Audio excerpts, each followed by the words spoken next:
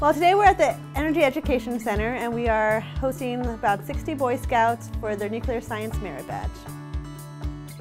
So we're handing out the materials for you guys to make electroscopes.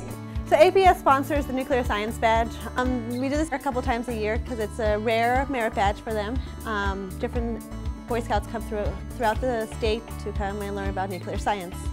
So I'm the Scoutmaster for Troop 686 uh, in Peoria.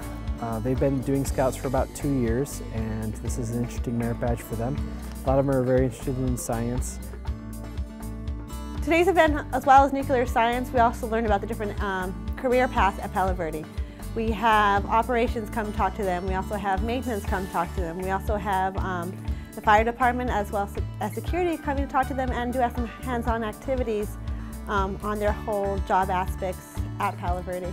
Uh, the kids were able to see hands-on with the Geiger meter um, the radioactivity of, of uh, different elements. It was pretty eye-opening for them and they really enjoyed the hands-on experience. We have inquisitive boys that have a hard time sitting down but when they when they get into an environment like this that allows them to uh, to throw questions at people that know what they're talking about and uh, they, I think they really thrive on that. So this has been a, a really unique opportunity for us.